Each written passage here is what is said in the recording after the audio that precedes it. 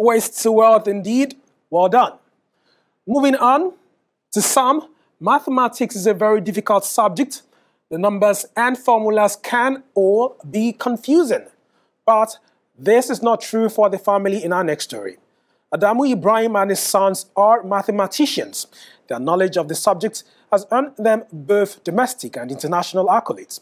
Hajara Aliyu visited the family in Bauchi State. An unusual wealth sits in the midst of an area known as Ngombochi, a slum in Bauchi State, northeast Nigeria.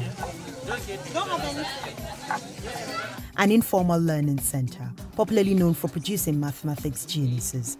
This small garage is a makeshift center to teach several learners in a desperate search for education. The views of many around here is that it should go beyond this and turn into an institution of some sort where scholars could turn out. Sites of several certificates, plaques, and laurels depict something extraordinary. The man behind the decade old center, Mr. Adamu, was an Olympiad champion in the 1980s. His children exhibit traits like their father. Such as sine squared theta plus cos squared theta is 1, and then we look at some few proofs to support our arguments.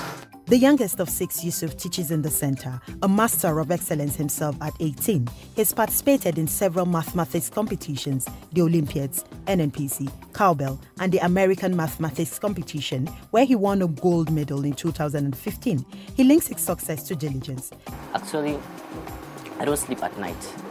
So right from 8 to 4, I study. And then I sleep to another time, let's say around 1. I wake up 1 p.m.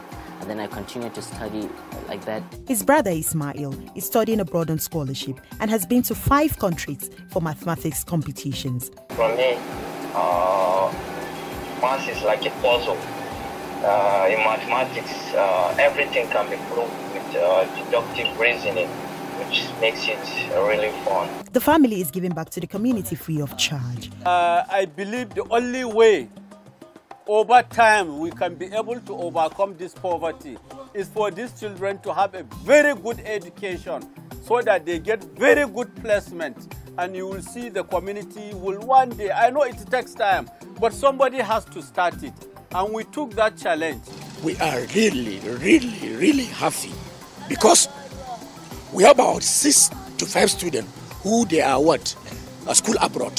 Simply because of this man contribution the center has received no external support. Perhaps the UN or any relevant organization could see this as an opportunity to improve a story that has begun to churn a generation of young, eager minds.